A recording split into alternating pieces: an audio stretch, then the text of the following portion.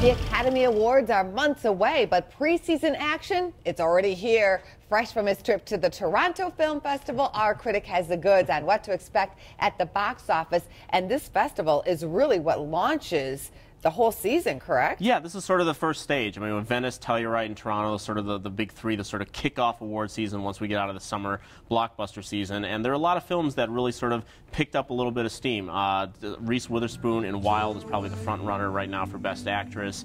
Uh, there's a movie called Still Alice that Julianne Moore is in. A lot of people are sort of touting that as a contender. Uh, the Imitation Game that the Weinsteins are putting out about uh, Alan Turing, the mathematician who solved the Enigma machine back in World War II, is really being touted as a big favorite in a lot of categories. We'll see how that plays out. Now, there were also some deals that were signed for some indie films, mm -hmm. so mm-hmm. that was good news, starting with a Chris Rock film. Yeah, this was the real big story uh, coming late out of the Toronto Film Festival that uh, Paramount Pictures snatched up Chris Rock's uh, latest directorial effort, Top Five, for $12.5 million.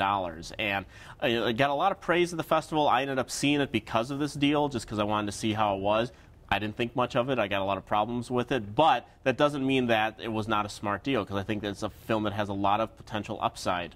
Also on the list, While We Were Young, Big Game, The Forger, and The Reach. Yeah, and while we're young, uh, Ben Stiller film uh, with, uh, directed by Noah Baumbach, I think is a film probably be released in the spring, probably by A24. Uh, and I think there's, you know, be a, kind of a modest success uh, if they can get that film out into the public. Let's fast forward and take a look at what's happening this weekend hmm. because you just saw the Liam Neeson film, but tapping that list this week, The Maze Runner, This Is Where I Leave You, and A Walk Among the Tombstones. Yeah, The Maze Runner is the film is probably going to win the box office this weekend. It's the latest young adult adaptation. Fox is having one heck of a run, and they're probably going to continue that with this film. Uh, this is where I leave you, kind of a, an ensemble comedy drama that you know might do okay. I think I might like it. I think you, I think you might. It's getting kind of kind of mixed reviews. I've seen a lot of independent films just like this this year, so I'm a little worn out on them. Gotcha. But A Walk Among the Tombstones uh, is a really solid detective thriller with Liam Neeson. It's another He's kidnapping. So right now. He's terrific, and uh, a kidnapping film. So it's not it's not of the Taken variety where he's just going out to kill the bad guys. Mm -hmm. This is more moody. It's detective. It's more film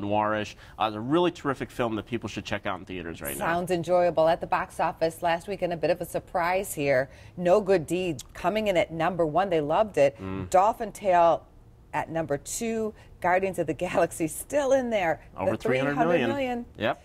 Teenage Mutant Ninja Turtles and Let's Be Cops. Yeah, No Good Deeds really interesting uh, story because Screen Gems actually canceled screenings from critics last week at late. You know, we had all this controversy with the NFL, and this is a film about a guy terrorizing women. So I think the, the twist that they said they uh, was in the film, I think the twist was that the guy just didn't belong to the NFL. Thanks for coming on the show, Erik. Thank you.